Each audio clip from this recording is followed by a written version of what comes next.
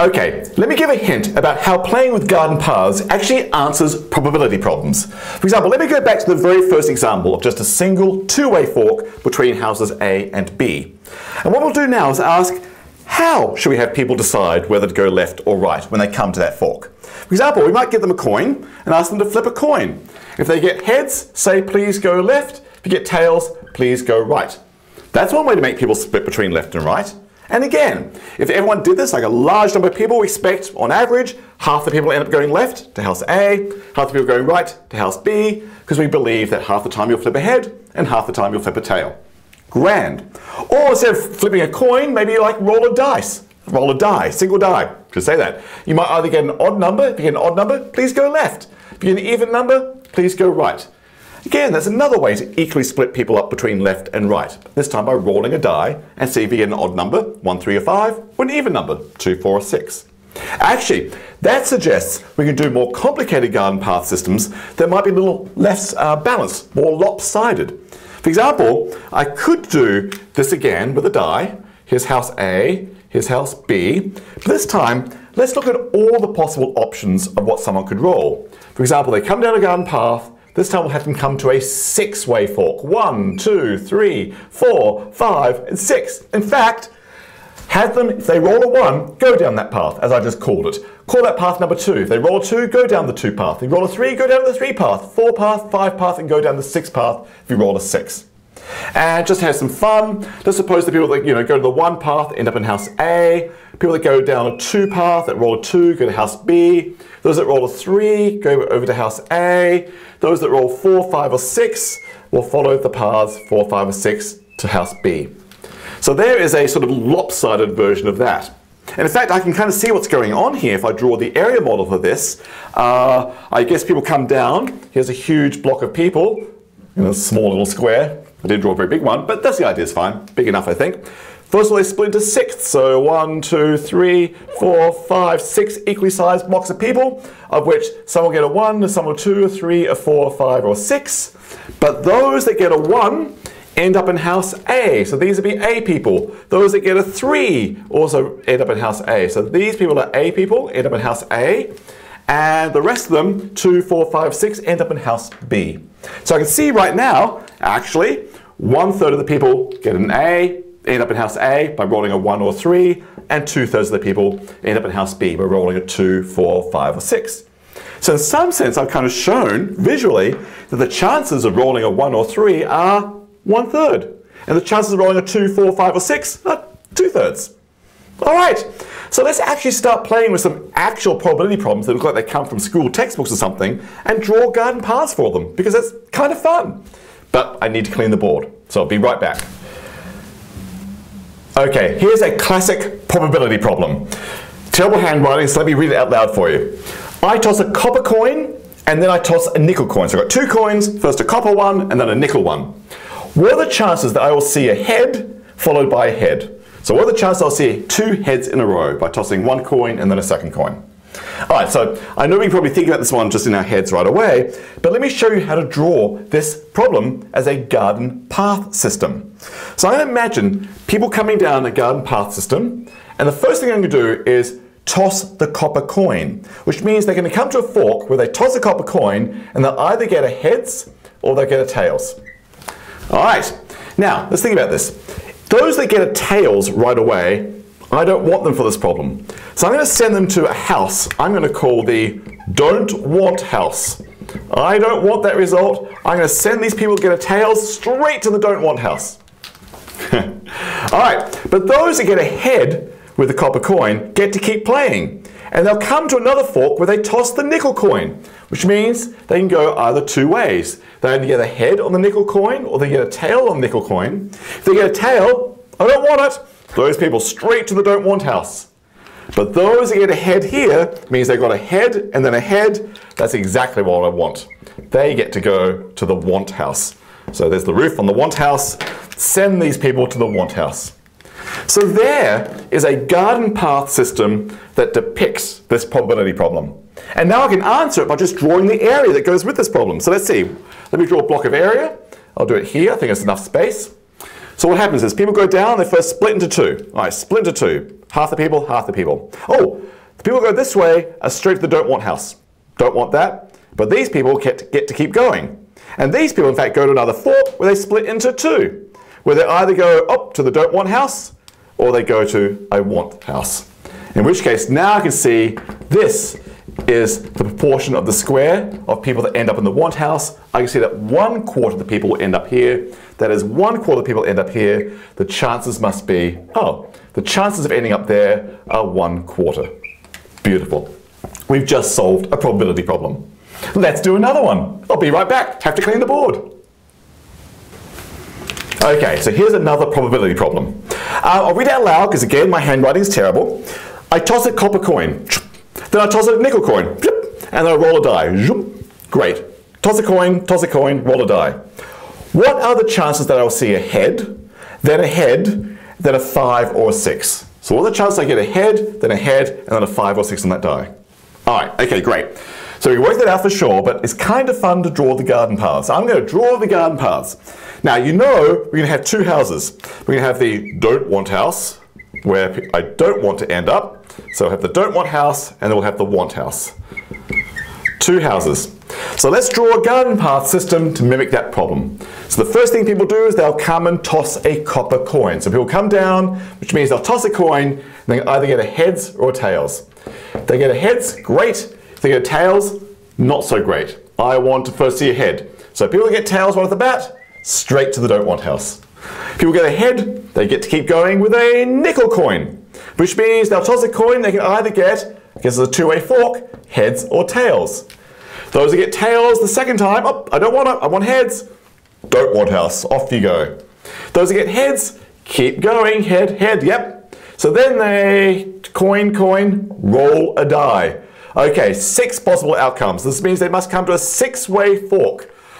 Golly gee, okay, so they get a one, they get a two, they get a three, they get a four, they get a five, or they get a six. A little bit messy, but hopefully that's clear enough for the work we're doing.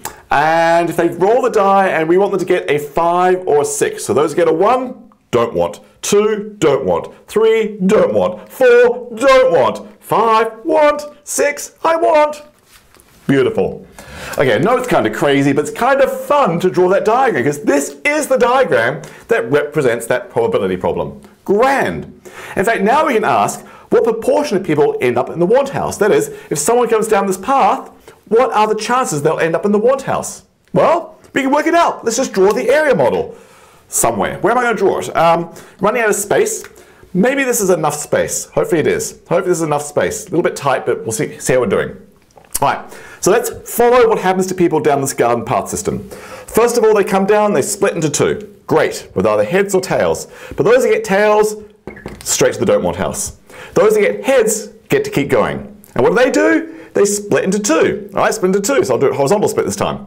Uh, those that get tails, oh, don't want. Those that get heads, keep going. These people still keep going.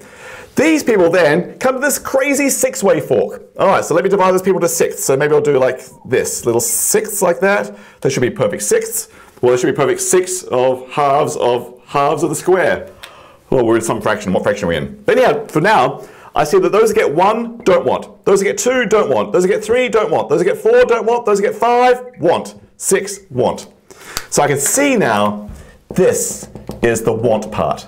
Those people and those people end up in the want house. They end up in the want house, and the question is, what fraction of the square is that?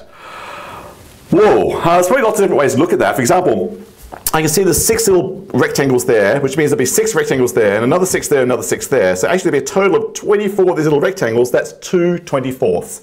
That's one twelfth of the entire area. Or maybe I could say one of these little pink rectangles is 1 sixth of 1 half of 1 half of the square. So that's a 1 24th, and I've got two of them, 2 24ths. However you want to think about it, the answer is 2 24ths. 1 12th of the people end up in the want house. That is, send someone down, they've got a 1 12th chance of ending up in the want house. Which means the answer to the problem is my chances of seeing a head followed by head followed by 5 or 6 must be 1 12th. That answers the probability problem. This is so fun. So let's do another one. But I have to clean the board. I'll be right back.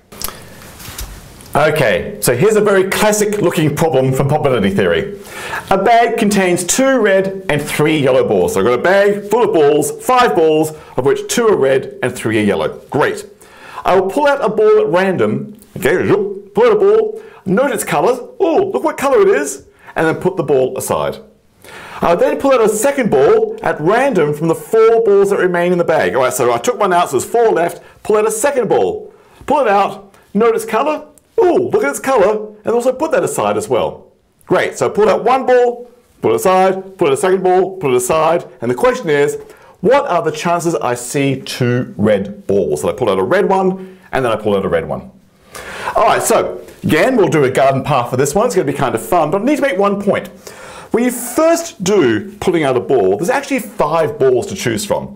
I, mean, I know it seems like we've got two identical red balls and three identical yellow balls, but you know, there could be specks of dust on it, because maybe there's a red ball with one speck of dust and a red ball with seven specks of dust, and there's a yellow ball with no dust, one with 13 specks of dust and 40 specks of dust on the third one. So it doesn't matter if we can tell the balls apart or not. But basically there's two red, two yellow, three yellow, but five balls in all. So initially there's actually five options pull out the red ball with one speck of dust, or pull out the red ball with seven specks of dust, or pull out the yellow ball with no specks of dust. That's what's really going on here. All right, so that means when I draw a garden path for this, this first action splits five ways. Pull out one of the red balls, pull out the other red ball, pull out a yellow ball, pull another yellow ball, or pull out another yellow ball. So let me draw that, let me draw that. But let me draw the fun part first, because we know there's going to be a want house, what we want to see, and there's the don't want house. Don't want. Doo -doo -doo Grand. All right, here goes. So as we do this experiment, we do pull out a ball first, and yes, we just observed it's a five-way split. There's two possible red balls I could pull out, red or the other red, and there's three yellow, possible yellow balls I can pull out. One yellow, the third yellow, or the second, uh, one yellow, the second yellow, or the third yellow. oh, but when I do the first experiment, I don't want yellow. In fact, seeing yellow right off the bat sends me straight to the don't want house. Oh, I don't want those. Then it's these ones.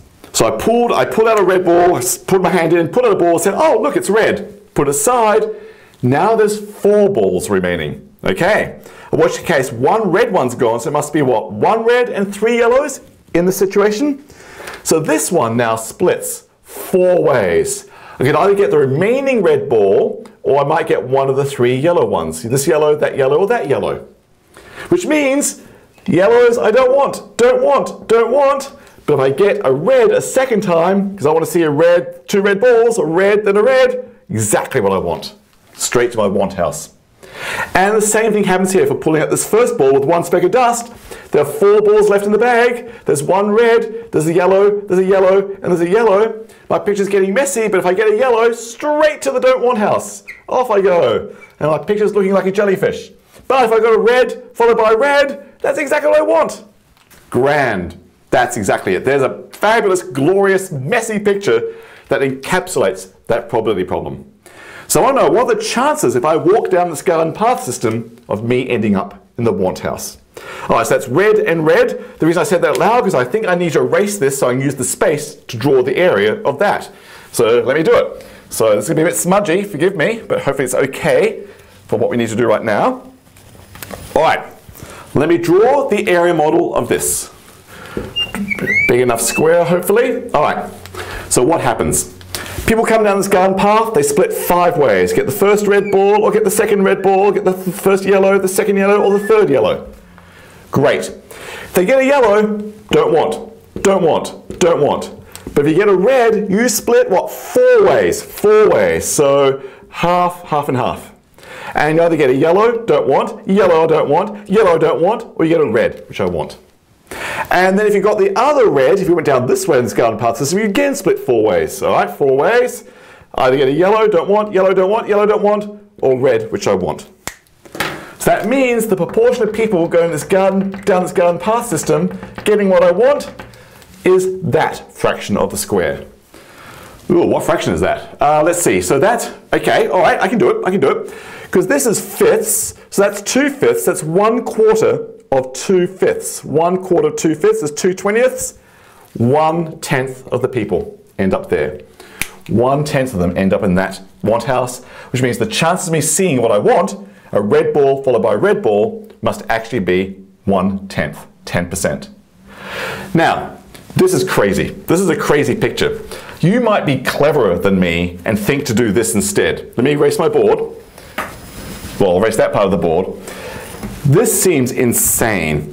What if I actually did little weights, little like little little numbers on my paths? For example, I know when people come down here, two-fifths of them will go this way, and three-fifths of them will go this way. So what if I labeled my paths like this? Two-fifths go this way, and three-fifths go that way.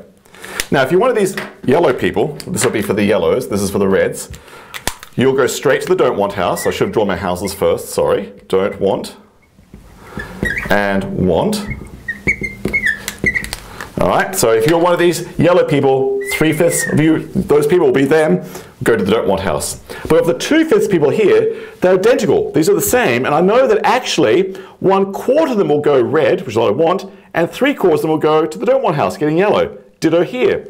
So these people behave in the same way, with one quarter of them getting red, one quarter of them, and three quarters of them getting yellow, which I don't want. So maybe if I was cleverer than I was here, I could label the diagram this way and see it much more simply. The fact looks, doesn't look like a jellyfish anymore. But then, when I draw the area model for this, aha, aha, if I draw the area model for this, then I have to do a little lopsided area model. Because my area model would be, what would it be? First of all, they don't split in half, they split into two fifths and three fifths. So I better divide into fifths, and two fifths go here, and three fifths go there to yellow, which I don't want. And then these people that survive so far split into quarter and three quarters. So I've better divide this into quarters. Beautiful. Which means what I want, that's what I don't want, they're the yellow people, are this part, whoops, which is here. Which I believe actually is the same diagram we had before. And now I can see I've got one quarter of two fifths, one tenth of the people, of this block of people end up in the want house. The chances of me seeing two reds must be 10%.